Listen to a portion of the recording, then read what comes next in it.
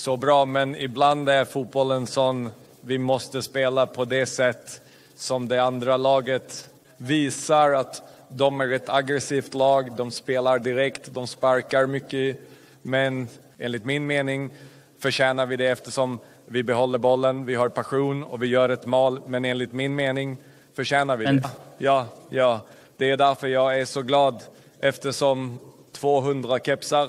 men ännu mer speciellt med målet. Eh, tack